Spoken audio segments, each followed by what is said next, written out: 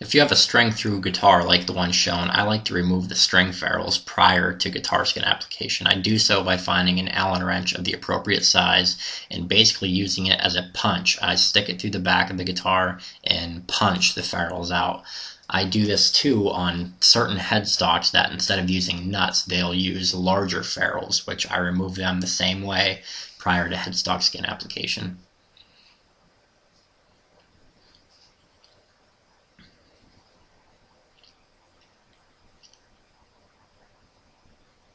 Take the skin and peel the backing back far enough to reveal the neck cutout.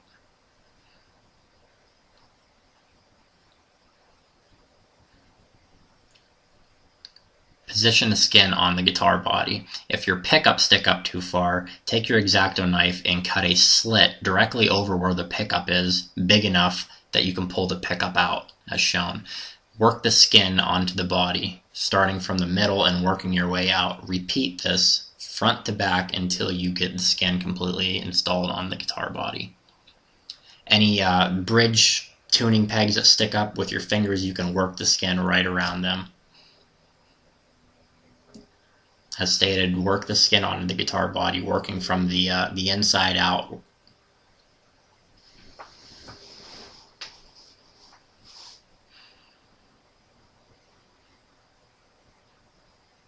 With an X-Acto knife and a new blade, trim the excess material off from around the guitar body. What you're going to basically want to do is use the guitar body as a guide and putting tension on the excess material as you are trimming along there will allow for a smooth cut. Use care when doing this. You don't want to turn the blade into the guitar and scratch your guitar up. If you encounter any jagged edges, which is common around corners, you can take a scrap piece of backing and cut out sort of like a horseshoe shape. You can then use this as um, peel the backing up where the jagged area is and use that piece of backing that you just cut out as a, uh, a makeshift cutting board. Make sure you have the waxy side facing down because you want the skin to grip onto the back of the, the backing sheet as you're making your cut to correct the edge.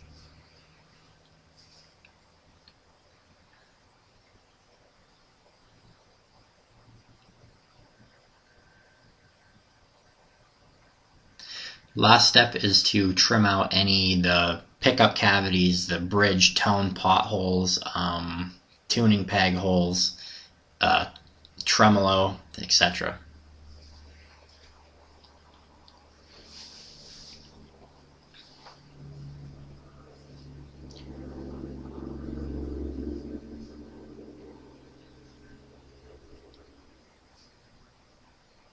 Also, if you have a guitar that has recessed knobs, such as the Schecter, you can work the skin down into that recessed area using your fingers as shown.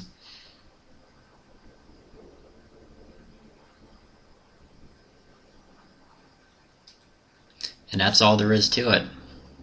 As you can see, I mean, these, these things really turn out awesome for, you know, a little bit of work, well under $100 to make your guitar look this good. It's, it's unbeatable.